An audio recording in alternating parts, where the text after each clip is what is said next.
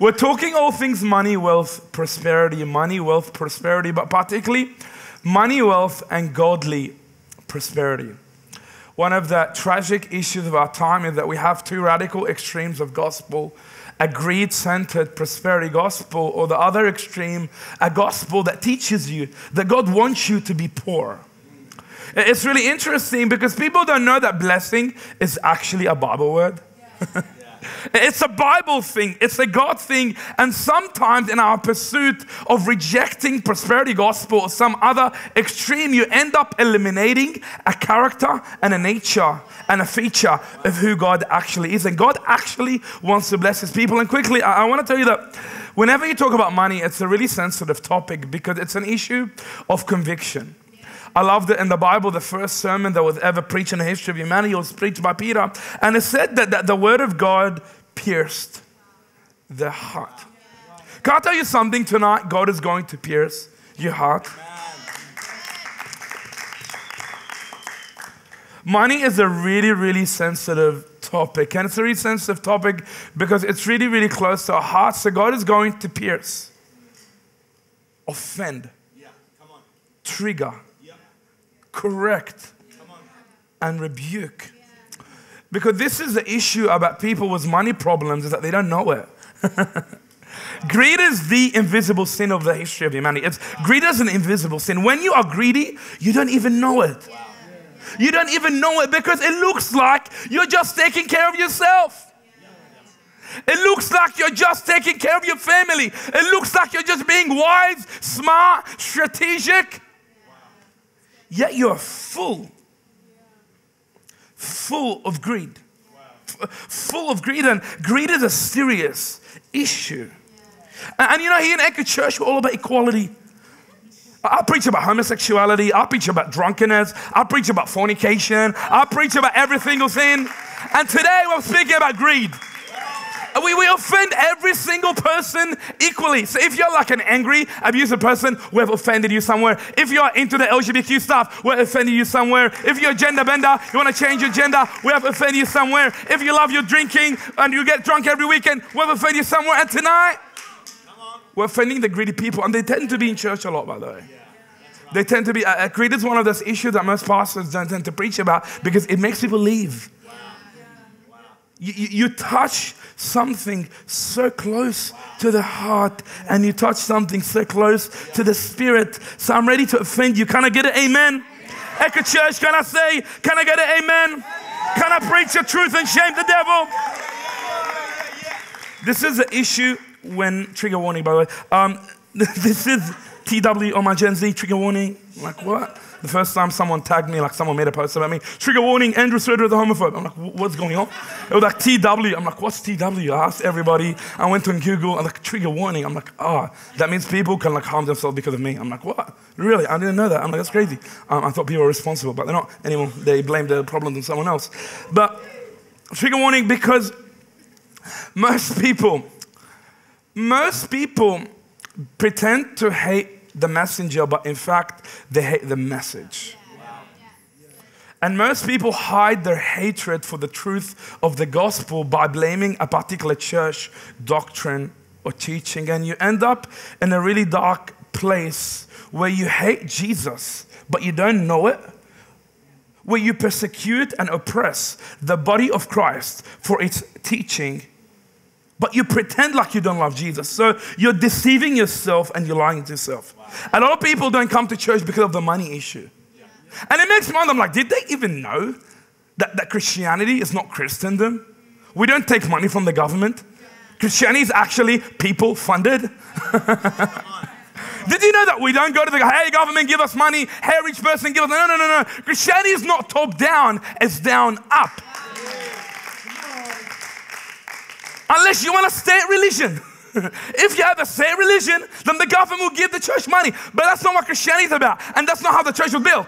God changed people's lives and God transformed people's lives. And as a consequence, as a byproduct, people presented to the house of God, to the kingdom of God, the first, and best. So you get this extremely simplistic, naive, uh, foolish, and sorry, stupid people who make simplistic conclusions without any substance. The church just wants people money. I'm like, what? What are you talking about? Like, you don't even understand what church is. You, you, you, don't get it. You don't get it. So they end up getting offended and triggered. And money is the biggest issue, apart from homosexuality, number two. Who knows about come number one? That people don't step a foot into church because people don't want to get confronted by the true condition of the heart, which is greed, the invisible sin of greed. And this is what greed does God created us to worship Him, to love people, and use money. What greed does, it makes you love self, worship money, and use people.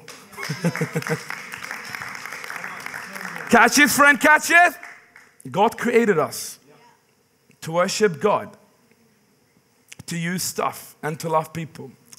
What greed does, it makes you worship money, love self, and use people. And as a byproduct, you come to the house of God and you encounter the grace of God, but you still don't get it. That freely you have received, so freely you give. So if you're new at this thing, hey, I'm not forcing you to give. I know by the end of the sermon, you're going to feel conviction. You're like, ouch, that's judgmental. That's called conviction. You're going to feel that little tingly feeling. It's called the Holy Spirit. He's going to come into your heart and convict you. So, yo, yo, bro, you're greedy. You didn't even know it. You love yourself too much. You didn't even know it. You've been using people. You've been living for yourself and you don't even know it. That's why you don't tithe. That's why you don't give. That's why you work over the days of life and declare that Jesus Lord with your mouth, but he's not Lord with your hand. Just like my old LGBTQ alphabet soup at this point of time. It's like, I'm pregnant. I'm like, you're mean. You can't get pregnant. I'm like, well, I think I'm pregnant. So exact same thing. I'm not greedy and I love Jesus. I'm like, no, no, no. Just because you claim something, it doesn't mean that you are. And so, well, we live in a really horrific time in culture, and it's a really big phenomenon in the Western culture. Like I'm coming, I came from the Middle East. You can't really claim something that you're not. In order to claim something, you actually need evidence and proof. Duh, we all know that. That used to be common sense, not anymore. But we live in an era we're not just culture, but people in the church to claim to love Jesus, but they don't love the church. I'm like, how? How? Wow. you claim to be a committed Jesus follower, but you don't give to the house of God. I'm like, how, man?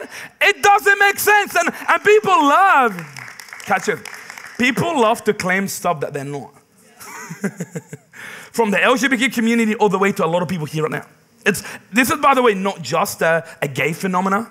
It's everybody phenomena. People love to claim something that they're not. you know what I'm saying? So you claim to love Jesus, but you don't love his house. You claim to follow Jesus, but you don't present your first, tenth, and best of the work of your hand to build the purpose of Jesus Christ. You claim to care about what Jesus cares about, yet for some reason you're not building the one thing he died for. And the one thing he said, he's coming back for a holy, blameless, and pure church. You claim to, to, to be a Christian, yet greed is living within you. Within you. So, how come every time we find this idea of 10% of the Bible, we find blessing? There's a weird, interesting connection. I want to talk about blessing, but particularly from the lens of tithing.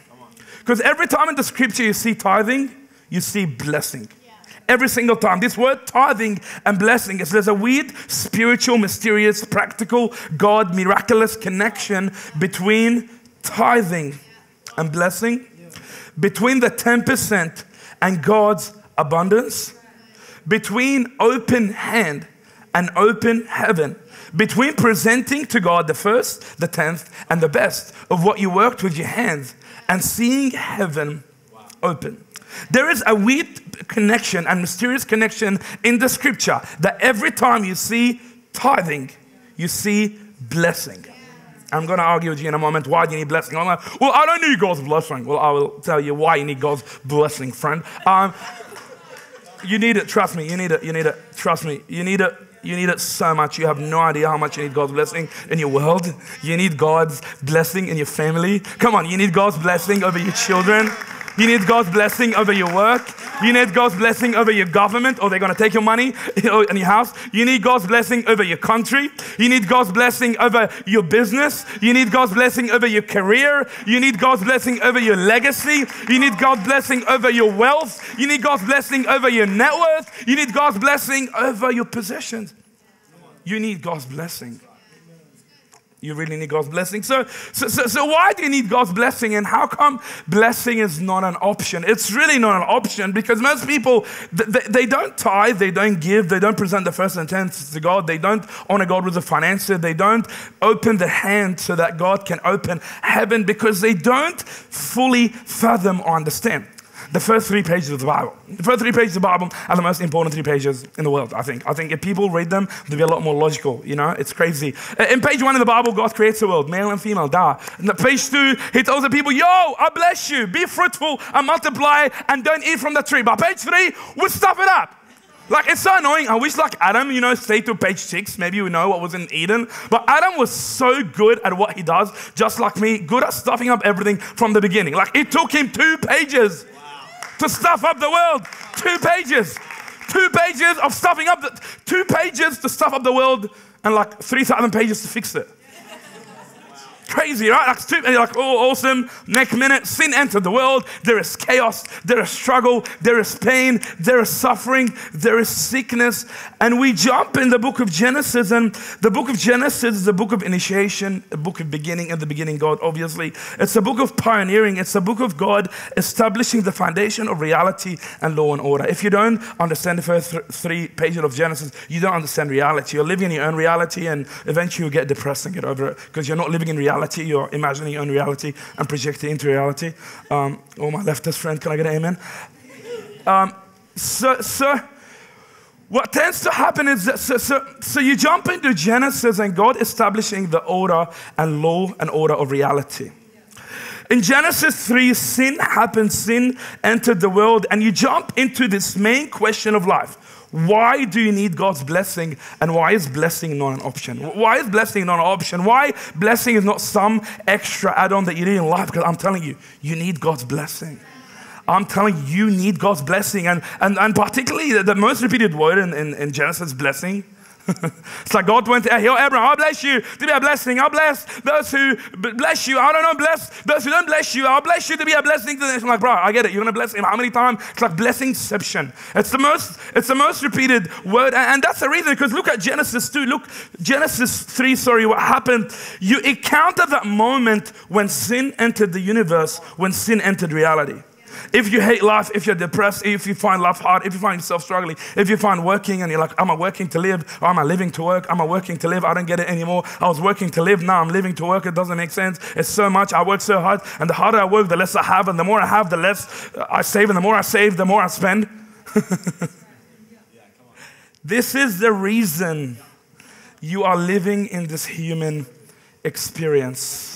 This is the reason you have government, politics, drama, left wing, right wing, everything. It's because of this moment that took place. So it said, it said to the man, God said, Since you listened to your wife and ate from that tree, man, the reason the world is messed up is because of you.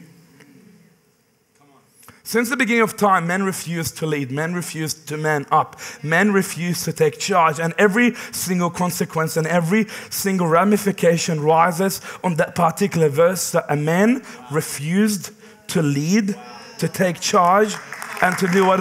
This is not a conspiracy. It's not a conspiracy. This is the moment when sin entered the world and all the consequences and the ramifications of sin, of death, pain, suffering, oppression, injustice, it goes back to a man refusing to lead, a man refusing to be a man, a man refusing to man up, a man refusing to take responsibility, and a man refusing to take charge.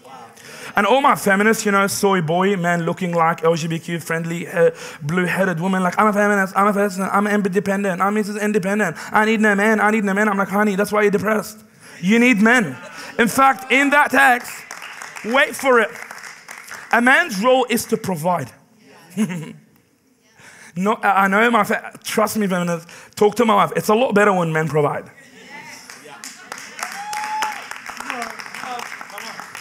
It's a lot better because they can actually protect you because they're stronger. Duh. They have more grit. You're better at raising kids, but they have more grit and more strength, and God created them that way to provide, to lead, to supply, to work, to make money, to generate wealth, to start a vision, to have a vision, to make a business. and you help them. It's not as bad as the feminist told you, you know what I'm saying? That's why they're depressed, because they're trying to be a man. Good luck with that, you know? I'm like, bruh, like, how awesome. You get the provision, I get to provide. That's not fair.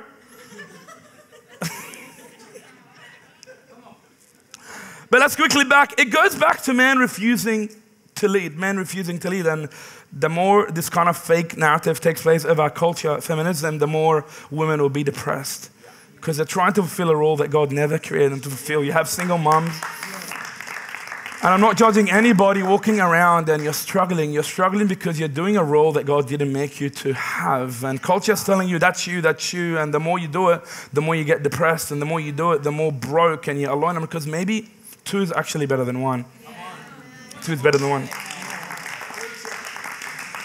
Let's quickly cement. Make sure you work. Make sure you're a provider. Make sure you're a leader. Make sure you're a supplier. Your job is to make wealth and to make money, to supply and to work, work, work, work, work, work to provide for your family. That's your job.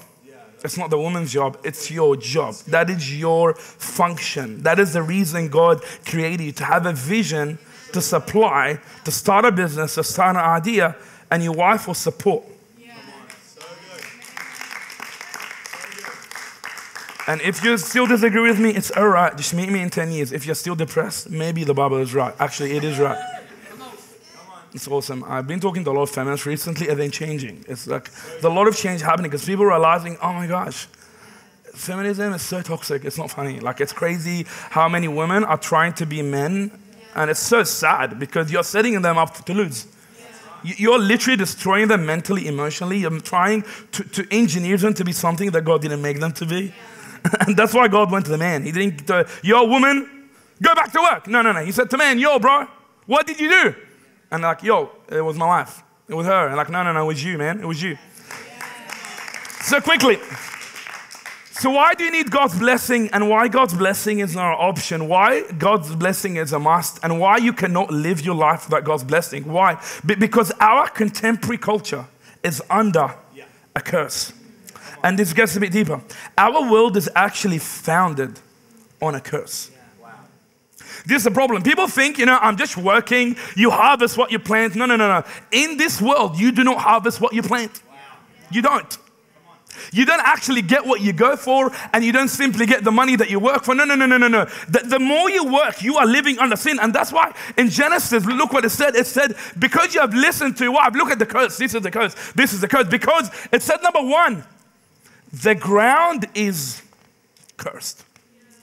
You can dig, you can work harder, you can be smarter, but there is a curse in the ground. The more you work, the, the more you will struggle. And, and that's the reason there is a curse living in the ground. You're working, working, but there is something working against you. And you're like, well, how come I work and, and, and the government wants my money and, and the bank uh, have an interest rate and the electricity company wants my money and the fuel guys want my money and the insurance guy wants the money? Everybody's after your money because the ground is cursed. That's the reason you end up with really bad bosses because you can't understand that in order to make money, to steal from people. That's kind of uh, smart. Bad people have already concluded that. If I pay people where bad, if I can get a lot of people and make them slaves, slavery, that's what slavery is about. So I'm making people work for free. So they work and you make the money and you feed them. So you're kind of making a lot. That's really the heart of slavery. The heart of slavery is not racism. All my dumb people are going to get amen. The heart of slavery is stealing. Because the ground is cursed. So, as a consequence, you need to exploit people and enslave them to work for free so that you can make more. And, and that's what I say in Genesis. So, the ground is cursed, and all your life you will struggle just to scratch a living. Again, this is the condition of your business. This is the condition of your reality. This is the condition of the work of your hand. This is the condition of our world. Is that, uh, again, it's going to come. So the ground is cursed. You will struggle to just scratch a living. The ground will grow thorns and thistles. By the sweat of your brow, you will have food to eat until you die. This is the curse of sin that all the days of your life, if you're not under the kingdom of heaven, if heaven is not open, if you're not submissive to bringing the first and the tenth and the best of the house of God, you are not li- longer living under open heaven. You are living in shut ground. And that's why Malachi said, Bring the tithe. Bring the first, the tenth, and the best. We're going to be digging that verse a lot more next week. Bring the tithe so that they may be food in the house. And look what says after it. And test me now in this and see if I'm not open heaven. So you really only have two options in life. It's either you work the ground and harvest curse. Or you honor the Lord with your first, tenth, and best and live under open heaven. Again, I, I, I, I love this moment of my sermon because it gives you a picture of reality.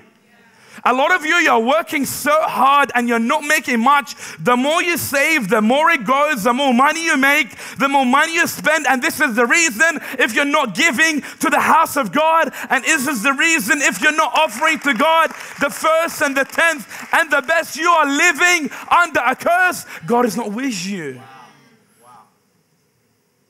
That's why people have to steal. That's why big corporations will pay you crap because the ground is cursed and everybody knows that there's injustice, there's oppression, there's high tax, there is everything you can name it. There's natural disasters, there is problems. So God's blessing, it's not an option. It's not an option because without God's blessing, you'll work all the days of your life and you'll still be broke. Without God's blessing, you will never, ever, ever be able to build anything thriving, growing, and prosperous for God and for the kingdom of God. Without God's blessing, you work all of your life and it'll be taken away from you. Without God's blessing, you work, work, work, work, and your kids will spend, spend, spend, spend, spend. generation wealth tend to go by second generation. The amount of people I've seen that they saved and they so much and they're dead and their kid comes and they buy, sell the house and go to Europe.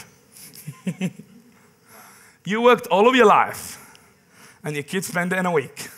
How cool. You need God's blessing. You need the miracle working hand to step in your world and open heaven. So as you work, you will actually harvest what you plant. And this is the justice of God, is that you will harvest what you plant if you do what is good. That's what Paul said. You cannot mock the justice of God. You will always harvest what you plant. So if you do good, you will get good. So Genesis is a book where God, across the whole entire book, is trying to reverse the curse.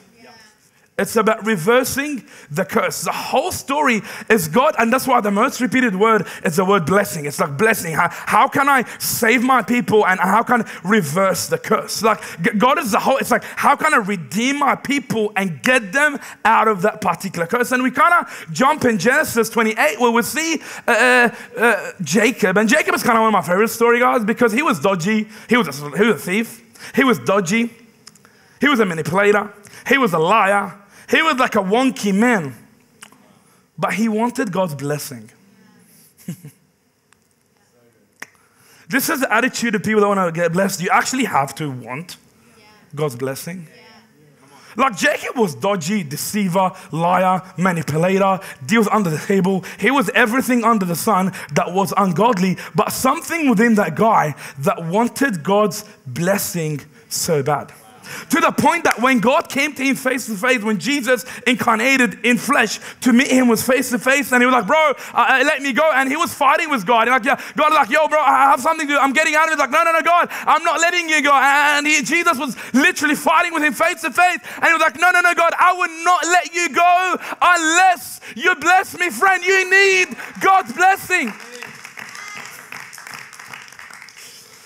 It's crazy how many people think that tithing is wasting or not tithing is wise and you're being smart and strategic, but you're living under the sinful curse. And that's what I look at what happened in Genesis 28. Uh, in this moment when Jacob encounters God, Jacob steals a blessing he runs. He, Jacob was dodgy, he was a thief, he was a liar, he was a manipulator, but he wanted God's blessing. And God's like, you know what? That's good enough. I'll work on his character as long as he wants it. I'll deal with that. So, so uh, Jacob kind of encountered that moment. It said, as he slept, Jacob dreamt of a stairway that reached for the earth up to heaven. Wow. A stairway. Notice that there was a stairway from the ground all the way to heaven. This was the moment, you know, the Lord's Prayer Our Father in heaven, holy is your name. May your kingdom come and your will be done on earth as it is in heaven, as above, so below. This was kind of the same moment where God was giving him a glimpse of open heaven. This theme of open heaven is always found in the kingdom of God. As you open your hand, God open heaven. And, and again, in, in Malachi 3, bring the tithes in storehouse so, this, so that there's food in my house and I'll open heaven. You encounter the exact same thing where God gives him a dream of a stair where God opens heaven. And look what God said him I'm the Lord your God. And look what it said the ground you are on, the ground belongs to you.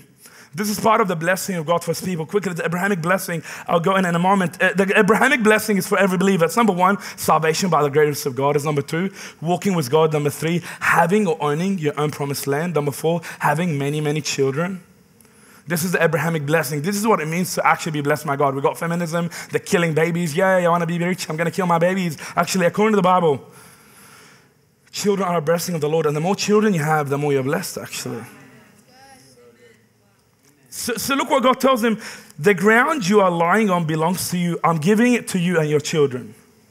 Your descendants will be as numerous as the dust on the earth. Again, the more children you have, the more blessed you are. Children are a blessing from the Lord. This is the blessing of Abraham that God does not just save you, God doesn't just walk with you. God will live, give you your own promised land from the world to you. God will give you a lot of children, but not just that. Your children will love and obey the Lord. And your inheritance will not just pass to you, but to your grandchildren. This is one of the biggest issues in our Western culture that we're really good at making money, but not good at keeping money when we die. look, look I, I, I, uh, that kind of verse I was asked said, Proverbs 13, good people leave an inheritance not to their children, but to their grandchildren.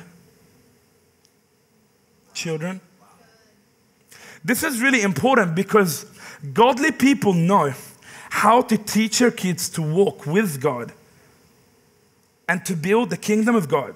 So God's miracle working hand will increase their wealth from generation to generation. That's it, by the way, what godly people do. And that's part of the blessing is that your wealth will grow as time happens, but that only happens. Look in Genesis 28, really cool verse. Uh, uh, Isaac was about to die and he was praying with Jacob. He said, Isaac called to Jacob and he blessed him. He said, May God Almighty bless you and give you many children.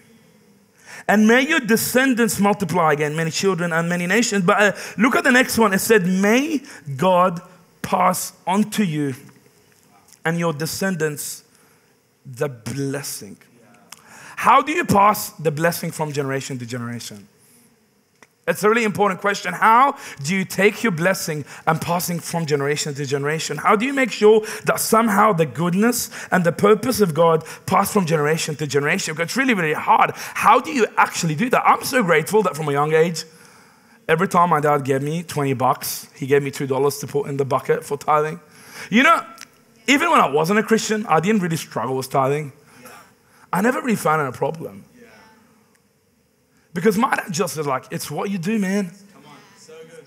And this is really important. How do you teach your children to receive the blessing of God and how to pass the blessing of God from generation to generation? For parents, I'm not just talking to you, I'm not just asking you to tithe. I'm asking you to make your children tithe as well. Wow. I'm going the extra mile. Yeah. You know what I'm saying? Yeah, I'm not just asking you to offer to the house of God the first, the tenth, and the best. Because look what, what Jacob replied. Jacob said, Look when God appeared to him. Jacob said, Again, this is really cool stuff. J- Jacob replied to, He said, What an awesome place is this where God appeared him. It is none other than the house of God, the very gateway to heaven. God encounters Jacob and God gives him the land. The land was called Luz. And God told him, This is your land. Guess what Jacob did? Jacob changed the name to Bethel, meaning the house of the Lord. Wow. Jacob gave to God what God has given him. Wow. so it said he named the place Bethel, which means the house of God. And he said, This house of God is the very gateway to heaven. Can I tell you, blessing is found when you offer to the house of God. Look, look, because look how he landed. He said, I've set up this place as a place of worshiping God, and I'll present to God a tenth of everything that He gives me. It said Jacob made a vow.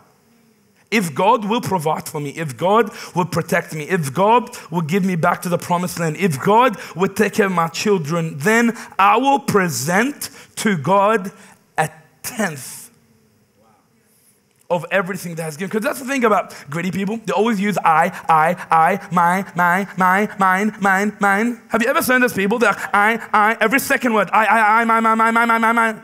Like, I, I, mine, mine. It felt like a Justin Bieber song, mine, mine, mine, mine, mine.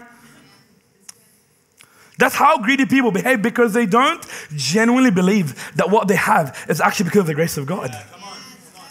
They don't know that, the health and the strength in your bones is actually a gift from God. If God removed his hand away from your health, you wouldn't have the money. They don't fully know, understand that the wisdom, the ideas, the skill, the work of your hand, your strategic mind, your smart mind, all the things that you can see, it's not actually you, it's the grace of God. So my money, my money, my money. I'm like, is it really your money? Or did God give it to you? We really have to establish this question because this is the issue with my, my, my, my, my, my, I, I. They haven't established the truth and the reality that it's not your money. God just entrusted it to you. The job that you have and the wisdom that you have, it's not yours. God purposely gave you the grace to work, to think strategically. Can I uh, talk to some dads for a moment? For me, if you do not honor the Lord with first and best intent, I have no idea how you're going to lead your family in the future. I don't know because life is hard and you can lose your job, you can lose, you can lose everything. I have no idea how parents, particularly men that lead the household, how do you afford to not give the Lord the first intent and the best? How do you do it? And all my young adults, all my broke young adults, like Jacob, that was me like seven years ago when I started Echo Church. I had nothing, but all I knew, I just need to honor God. That's the beauty of God. You don't need to be rich. You don't need to be smart. You don't need to be wise. All you need to do is honor God. And God has a way of getting you from broke to prosperous. God has a way of opening heaven. Uh, and that's the thing. You didn't really work for it. Wasn't it God's grace that gave the breath in your body and the strength in your bones? You really, really think, like, have you been to the hospital and seen how many sick people for you to realize, oh, mate, if God removes my health, I can't make any money. If God removes my breath, I'm dead, obviously. If God removed his wisdom, if God removes his favor, I'm gone. I'm done. And again, this is the issue with greed. Greed is simply loving money more than God. It's not that you don't love God, it's you love God, but you love money more. This is the issue with this kind of little funny, funky things that you can't say. It's not that you don't love God because you worship, you come to church, you jump, you do a backflip, you come to the front, you do all these Christian shenanigans. But this is the issue with greed: is that it's not that you don't love God; it's that you love money more. Wow. Greed happens when you love money more than God, and greed happens when you love stuff more than people. Can someone talk? Greed happens when you love money more than God, and greed happens when you love stuff more than people. So you end up building your house by abandoning God's house, and you end up building your family by not giving the first and tenth and the best to the house of the Lord. So you end up living for your purpose and you end up living for your idea. You end up living for your thing. And this is actually the condition of the last days that people will love themselves and their money too much. Look what Paul said. Paul said, You should know this, Timothy, that the last days they will be very, very difficult times. Why? People will only love their money. Sorry, people will only love themselves and their money. This is a condition of the last days, particularly in the church, that people will be so busy building their kingdom, building their ego, building their business, building their empire, that they would not build or offer anything to build the house of God. They will love God, but they will love their money more. They will love the church, but they will love their business more. And as a consequence, as direct, they will never ever offer the first and tenth and the best to build the purpose of God. They would just love themselves. I came across an interesting story of a young Indian beggar boy who used to always go to India. India is a interesting country. You got the really rich side on one side and the really poor side on one side. They will always cross to the rich place, and that young boy will always go to a cafe where a, a rich old man will be eating his donuts and he'll be having his coffee. And that young boy will go at the end of the day, and the rich boy and the rich guy noticed him and he'll go to the bin and he'll find the burnt left over the toast and he will eat it and he'll bring his friend and they'll all share it. And every single day, that young poor boy will come until that uh, uh old rich man decided that I'm going to buy him a box of 10 donuts and give it to him. He gave it to him, and the boy was so pumped and so excited. Anybody wants a donut? All right, Martin, you can have it. One more, Martina. All right, no problem. Anybody another one? Sean? Make sure you tithe. No, no I'm joking. I'm joking. I'm watching you, man. No, I'm joking. you got a donut. That's people's tithing. No, I'm joking. No. It was such a sad story because the old man watched a young boy as he was eating, and then his friend came and he told him, Hey, can I get a donut? And the boy was like, No, it's mine. This is the condition of a lot of people in the house of God. And we're not talking about a box of donuts, we're talking about the infinite grace of God. We've been singing today, God, you have given me life. You have opened my eyes. I'm like, man, God got you. God saved you. Jesus died for your sin. Jesus didn't just give you anything, He gave you His life. He gave you Himself for free. For free. If the people of the Old Testament gave 10% of their money to the house of God, how much more should the people of grace? How much more should the people of the New Testament, how much more should the people of Jesus, how much more should the people of the cross give? Not tithing is a heart problem. Friend, seriously? God wants one donut out of the ten? Man, what is going on? Jesus died the people of the Old Testament gave 28% of their income 10% to tithing, 10% to the festivals in the temple, and 8% to the poor, the orphans, the refugees, and the widows. They offered, in average, of their income 28%, 10% to build the house of God, 10% to expand the house of God forward in festivals, and 5 to 8% to poor, orphans, widows, and refugees. And they were the people of the law. One dollar out of ten, ten dollar out of hundred, hundred dollar out of one thousand. I remember when I got saved, like, man, how much money do guys want? I didn't have much. I'm like, I'm keen, I'm ready, I'm ready. Ah, 50%, I'm ready. I'm like, 10%. I'm like, what? That's by the way exactly happened with Jacob. Jacob, that was his moment of saving grace because he just ran after lying, deceiving. Yeah. And God saved him, called him, blessed him, and sent him. And because that's the thing, tithing is a spiritual moment of worship, not just a practical routine. Tithing is a natural response to being saved by the unlimited free grace of God. It is so big, it is so massive that what I give is so small, is so tiny, and that's why tithing is a heart problem.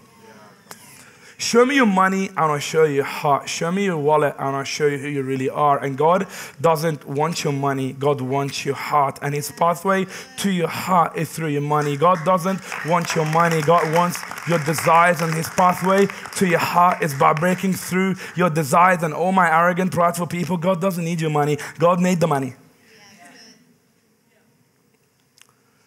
God doesn't actually need money. God does not need your money. God wants your money. And Echo Church doesn't need your money. Echo Church needs God's money.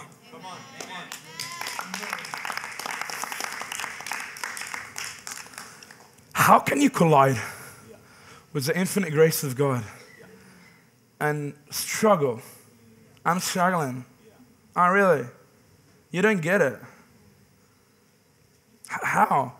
You really don't get it. You actually don't get it. You, there is actually a critical, dangerous, deadly condition in your heart. Heart conditions are deadly, spiritually and physically. Do you understand the issue, friend?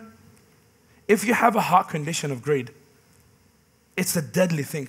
Heart conditions are deadly, not just practically, but spiritually.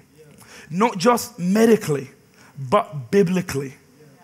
You are in a really big problem. You are about to die. I'm not sure what this even means. Your spirit, your soul is in a really, really dangerous place, and you don't even know it.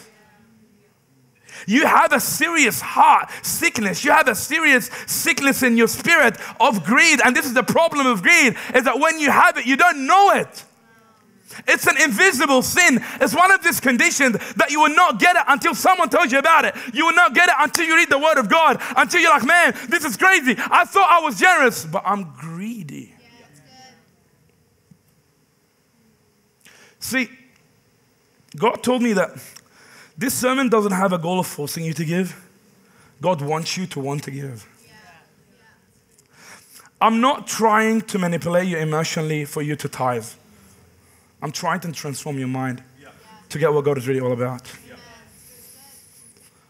I'm not trying to force you to tithe. I'm trying to change your heart because freely you have received, so freely give.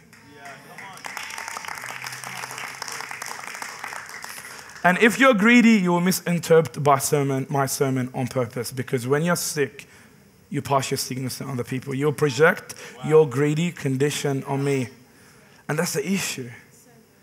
God doesn't need your money, but God wants your money. God wants your money because God wants your heart. God wants your money because God wants you. And His pathway to your heart, His pathway to your desire is through your money. So God wants your money, not because He wants your money. God wants your money because He wants you. So show me your money. I will show you your heart. Show me your wallet. I will show you who you really are. And money is the best way for you to know the real, actual condition of your soul. And money is the best way for you to actually know the actual condition of your spirit. You know, as a pastor, according to the Bible, the best way for me to know the condition and the health and the soul and the spirit of the church is to look at the offering, not attendance. Attendance doesn't really mean anything. People come, they clap, they sing. It doesn't cost them anything. They put their bum on the seat, they get it sweaty, and they go home. Doesn't really mean anything. Some of them break the chairs. Don't break the chair, please. One of the interesting things about our modern era when it comes to raising chicken, anybody here has chicken in their house? Any of my organic people, they only eat organic chicken. so expensive. I'm trying to get some. But one of the interesting things about chicken is that it was going to come on the screen is that as you get chicken, in order for you to get, produce it really fastly, you have to inject it with steroids, number one, and you have to manipulate time by putting the light on, off, and on really, really quickly. So in order to get the chicken to grow really quickly, you inject it with steroids so it can actually grow really quickly. And then you turn the light on really, really quick so the brain thinks it's night and day and night and day. And before you know what's supposed to take a few months for the chicken to grow, it takes a few days. Or even a few, yeah, I think a few days. But what's interesting, as the chicken grows through the steroid and time manipulation, the one or two things that don't grow as the body grows is actually the heart. So science is able to manipulate time and inject steroids to make the body grow, but the heart doesn't grow. And this is the problem as the chicken grows is that they can they can live, but they can't walk. And they're paralyzed and they're dysfunctional. See, th- th- that is the condition of the church when God blesses its body to grow and explode but it heart doesn't move. Because catch this, catch this. You need to catch this. God will make the body grow. That's his promise. But God will not make the heart grow because that's you.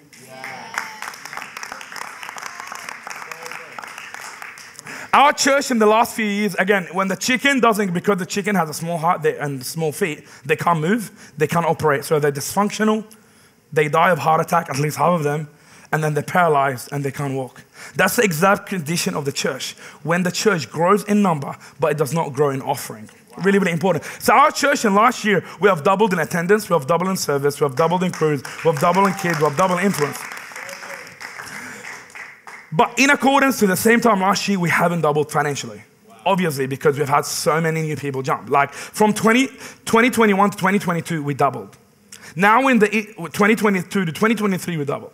Now we are in the season where we're going to have to decide, is this a revival or is this a dead church? Because again, you got to understand, God will make the body grow. But it's my responsibility as a pastor and the leader and the shepherd of a church to prompt, to convict, to pierce your heart, to make the heart grow. So, how do you know the condition and the health of a church? Get the total attendance, get the total giving divided by the total attendance. And you'll fully know. If, if it's like $10 per head, you're like, yeah, there's no way every person at church earns 100 bucks a week. No way. And, and that's how you know the condition of the people of God. It's really, really important. And we are now in that moment where we get to decide are we a revival or are we a dead church? It's again, this is the reason we purposely do this at the beginning of the year because this will determine. And I know that God is moving. We're going to double offering in the next week. I know that. I'm not even worried. God has done it. Echo Church in the last three years have doubled in attendance and in offering every single year. Every single year. Since COVID, we have doubled, at least doubled, every single year in attendance, in crews, in influence, in kids, and in tithing. The general management of the church weekly. That's actually what happened. But this is a moment where I have to push, teach, and grow these people's heart because as we move in next year, as we talk, look here, there will not be enough place. Just look behind you. Like this morning, the service was full. We started that service six months ago, that morning one, and it's already full. There's two rows to go. And this service is two to three rows to go. We're about to go to start a third service, and guess what's next? We're out of here. We are really close by the same time next year to be starting making the plans. All right, where's the next building? Where's the next location? And that's what ha- the condition of the heart, it will determine a revival or a dead church, it will determine a church that is on the move or a church that is paralyzed. It will determine a church where God is moving in or a church that is dead. And that's the problem with Christendom or my big corporation church like Anglican, Catholic, all that stuff. They're supplied top down, not bottom up. And they end up attacking the church like, oh, the church asks for money. I'm like, because we are not an institutional church. We're a people centered church. People get saved, so people give. We're not funded by the government. We're not funded by some woke bill. We're not funded by anybody. We are funded by the people who God changed their life, who God prompted their heart. We are funded by people tithing every single week. And that is why church is so dangerous. You have, you know, if you don't tax, you go to jail. If you don't tithe, you don't go to jail. but people still do it. So our goal is not a big body church, but a big heart church. So our goal is not a full service church, but a faithful church. Our goal is not a church that's full of seeds, but a church that is full of souls on fire for God. Our goal is not quantity, but quality. And that is the reason I'm offending you tonight. And that's the reason I'm like, like last year, some rich guy who doesn't come to church anymore, um, he was like to me, look, look, I don't mind tithing, but I don't like the way you speak about it. It just so judgmental. It made me feel so condemned. Like that's so judgmental. And I'm, I'm like, dude, you have a greed issue. Yeah. You have a greed issue. And that person was really, really rich. Like he was on the four figure tithing weekly. Why I know? Because he texted me when he died. Like, cool, you don't need to tell me. And I knew you, you have a problem, and, and the richer people, you will have a problem giving than the, than the poorer people. This is a biblical issue in the Bible that the more you have, the more you struggle to give, and the more people that, uh, uh, the more you have, the more you struggle to give, but the people that are struggling financially tend to be the one that less struggle to give. Yeah, yeah. That's why, that's why when the young rich ruler, when Jesus told him, Come and follow me, it said that he left because he had so much stuff. More people in third world countries tithe. Did you know that? More people in the third world countries tithe And people in the, the average giving in the Western world is 2.5. Wow. The average giving in third world countries is like at least 10%. Wow. Can you believe it? Four times. You know, before World War II, during the Great Depression, giving was double what is now. Because the more you have, the more you will struggle to tithe. I'm telling you right now, the, the, the, the more God gives you, some people come tell me, you know, I, I can't tithe because it's so much. I'm like, cool, I'm going to pray for God to give you less. And I understand that, your man, your tithing can buy another house. Your tithing can pay your mortgage. Your tithing can extend your business. Your tithing can buy another car. Your tithing can get healthy. I know and I get it. Your tithing is so much. But that's what greed does. That's, that's the problem of greed. That you struggle to give. You struggle to give. So the question now becomes are you going to live under an open heaven or under a shut ground? Are you going to pass the generational blessing from generation to generation? Or is it going to end with you?